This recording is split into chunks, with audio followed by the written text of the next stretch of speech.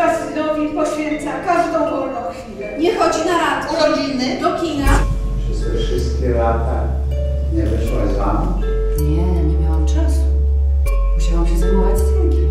Dziewczyny nie są mi potrzebne, mówił, tylko ty. Tak go zdobyłam. Syn zakochał się w swojej